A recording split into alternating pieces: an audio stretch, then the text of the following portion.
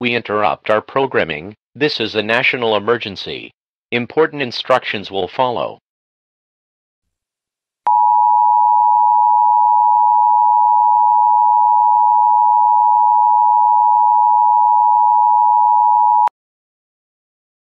This is an emergency action notification.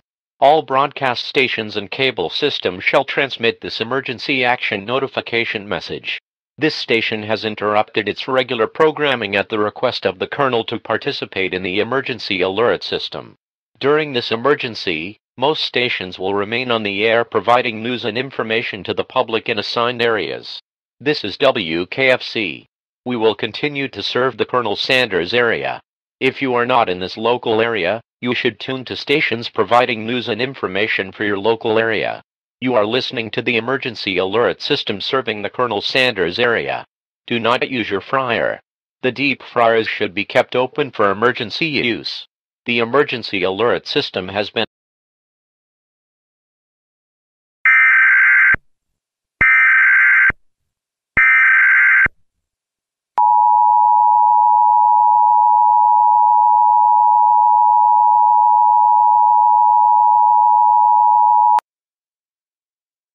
The following message is being transmitted at the request of the Colonel. This is not a test. A Big Mac attack is occurring against the KFC. Four Big Macs have been launched from unknown locations and are expected to strike the KFC within the next 15 minutes. Due to the uncertain facts of these burgers, all residents in the KFC should seek a ketchup shelter immediately. Stay in your shelter and brace for the potential effects of ketchup. Ketchup is a product of burger attacks. Prolonged exposure to ketchup will result in certain death. Ketchup spreads across large areas immediately after bite. If you cannot find a ketchup shelter in your area, local authorities will lead you to one. Take a battery-powered deep fryer and at least a two-week supply of the 11 herbs and spices for your stay in the shelter. The Colonel will be speaking on all television and radio stations shortly. Stand by for this message.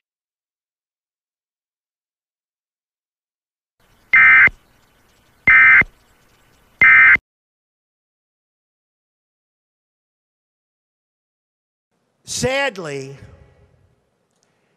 the American dream is John Cena!